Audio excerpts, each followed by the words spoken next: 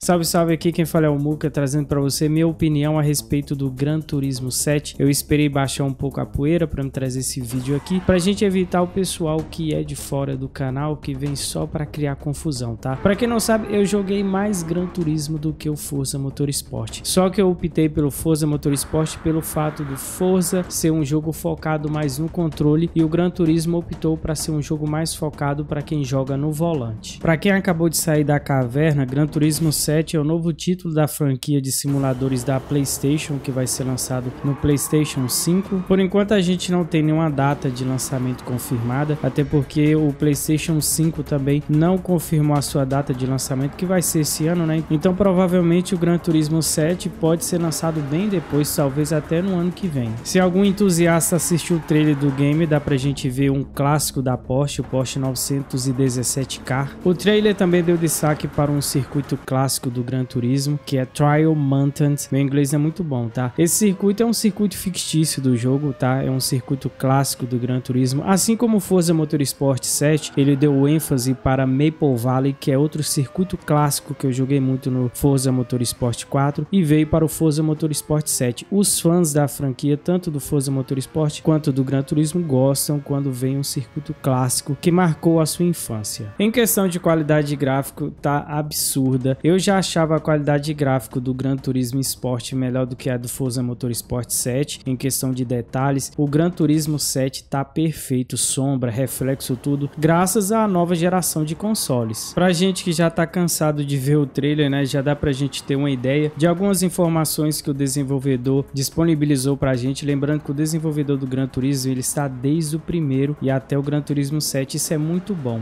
Só da gente ver esse menu clássico já dá pra gente ter uma ideia que o jogo vai vai ter um modo campanha muito maior do que o Gran Turismo Sport, que o pessoal achava que o Gran Turismo Sport era só pegar o jogo e ir para o modo online. Eu estou no Discord de alguns jogadores do Gran Turismo Sport e o que eu vi o pessoal reclamar bastante era que o Gran Turismo Sport não tinha um modo campanha é, muito grande, sabe? Não era um modo campanha muito empolgante se a gente for comparar com os Gran Turismos clássicos. E olhando esse novo Gran Turismo, Gran Turismo 7, já dá pra gente ver nesse menu que a gente vai ter um modo campanha muito muito maior e isso foi prometido pelos desenvolvedores. Então vai ser muito bom para a galera que gosta de fazer um modo campanha. Dá para a gente ter a, aquela pegada do Gran Turismo clássico, da gente ficar buscando na loja carros usados, mecânico, participando dos eventos, tirando a habilitação. Isso é muito bom. Para quem não sabe, esse menu em formato de mapa, ele representa a interface clássica do Gran Turismo. A gente pode encontrar esse menu, se eu não me engano, no Gran Turismo 2 e Gran Turismo 4, tá? Me corrija aí se eu estiver errado nos comentários. Em relação à apresentação de jogo, a gente não pode reclamar de nada aqui. Eles mostraram até muita coisa, né? Mais do que eu esperava, um gráfico assim que é, se a gente observar essas novas plataformas, né, e comparar com o desempenho de computador, meu Deus do céu, a gente assusta. Se for comparar preço ainda, né, pra gente ter um desempenho desse aqui de gráficos e jogabilidades, né, tá perfeito, cara. Uma apresentação assim que destruiu a apresentação do Project Cars que a gente não entendeu nada. Eu confesso que deu até vontade de comprar um PlayStation para jogar depois de ter visto esse menu aqui, cara. A apresentação do carro sempre fluida, tá? Se a gente for comparar com Forza Motorsport 7, quando você vai selecionar um carro demora bastante. Lógico que aqui a gente tá falando de outra plataforma, né? A gente tá vendo que tá bem fluido. Tem a apresentação da oficina também, onde a gente tem várias opções de configuração de carro ali, desde uma configuração mais básica até um extremo mesmo de um carro de corrida, provavelmente não dá pra gente ver muita coisa, né? Depois de ter visto esse menu aqui, acredito que o Forza Motorsport 8 deveria trazer algumas características dos seus jogos mais antigos, né? Que nem Forza Motorsport 4, Forza Motorsport 3, que nem o Gran Turismo tá trazendo esse menu aqui, que é um menu clássico, isso é muito bom. Dá pra gente ver que o jogo tá tem uma expansão, né? Parece que o jogo é grande mesmo, você tá em uma cidade, parece que é um mundo aberto, dá para você sair de um lugar para o outro, não é um menu aquela coisa que fica na sua cara. Aqui dá para você ver que você tem um espaço muito grande, muita opção de coisas para você fazer. Isso é muito bom, cara. Hoje um jogo de corrida, ele não é só aquela coisa para você entrar e fazer uma corrida. Você tem que ter outras opções de coisas para você fazer, assim como tem outros jogos, como opções de customização, de personagens aqui você tem de jogo, opções de, por exemplo, é, aperfeiçoar uma arma. Aqui você tem a opção de aperfeiçoar o seu carro, entendeu? Então você tem que ter mais opções, não só aquela coisa enxuta, porque isso acaba acaba enjoando muito rápido.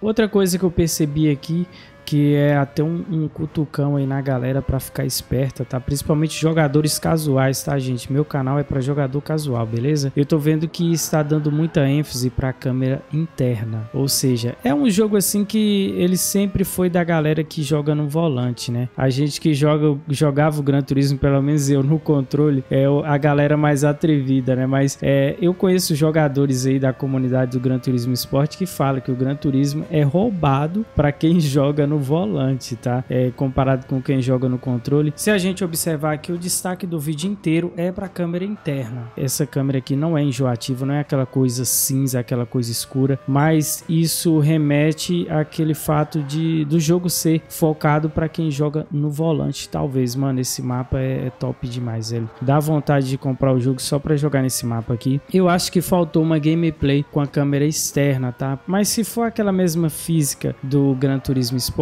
talvez a câmera externa não vai ser a melhor opção. Eu acho uma pena isso porque a gente tem um novo controle do PlayStation 5 que tem uma profundidade, tem uma sensibilidade muito boa, tá? Eu espero que no decorrer do tempo traga alguns vídeos aí com a câmera externa para a gente ver como é que vai ser a sensibilidade. Dá uma ênfase aí para esse novo controle do PlayStation para a gente ver se a gente vai ter uma experiência assim como é no Forza Motorsport. Para quem nunca jogou, cara, no Forza Motorsport Sport ou Forza Horizon no controle, cara, é uma experiência muito boa. Você tem um feedback muito bom no controle. E esse novo controle do PlayStation, ele tá com feedback assim muito, muito bom. Eu estava vendo alguns reviews aí do pessoal que tem mais acesso aos desenvolvedores e a galera falou que os gatilhos têm mais profundidade, tá melhor para a, pegada do jogo, você sentir tudo ali o que tá rolando. Então eu acho que no, é, no novo Gran Turismo deveria explorar o que a gente gente tem de melhor nesse novo controle do PlayStation, tá? Se ficar de lado o controle do PlayStation no Gran Turismo 7, cara, isso aí é, vai ser muito chato, principalmente para jogadores que não têm condições de comprar um volante. Baseado nas informações de jogadores casuais, e se você já jogou o Gran Turismo Sport, deixe aí nos comentários se você já jogou com a câmera externa, o que você sentiu a sua experiência jogando na câmera externa. Eu conheço vários jogadores que jogam o Gran Turismo Sport e para quem gosta gosta de jogar com a câmera externa, o pessoal fala que não é muito orgânico, tá? Mas isso, né, mesmo eu gostando de jogar com a câmera externa, isso não me impediria de comprar o Gran Turismo 7. Eu acho que eu ia me adaptar, eu acho que a gente pode jogar e se adaptar ao jogo, é, tirar um pouco esse paradigma de não gostar do jogo e tentar se adaptar com ele, porque esse jogo tá perfeito. Eu compraria sem dúvidas nenhuma se eu tivesse condições de comprar um Xbox One X e um PlayStation 5, com certeza ia ter Gran Turismo 7 aqui no canal, beleza? Eu espero que tenha gostado e até o próximo vídeo.